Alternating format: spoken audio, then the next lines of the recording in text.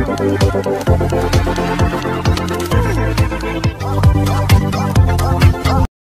guys, this is our 28th day of sit-up challenge. So, 30 sit-ups a day. So, let's get started.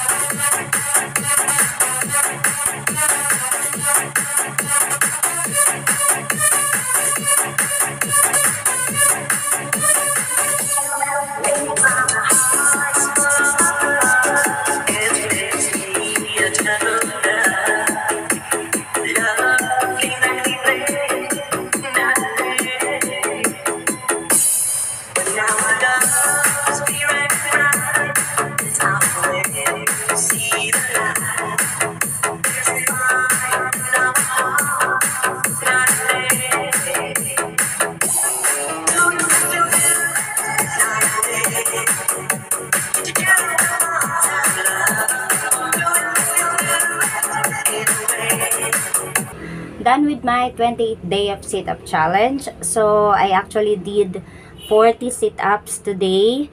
Uh, shout out to 52 Sport 64 69 for your advice. Um, I'll try to do 40 sit-ups starting now. Mas mahirap siya. Um, but uh, I will not do everyday posting na. But I will continue my journey of sit-ups and I will share it with you guys up until the 30th day of my my sit-up challenge.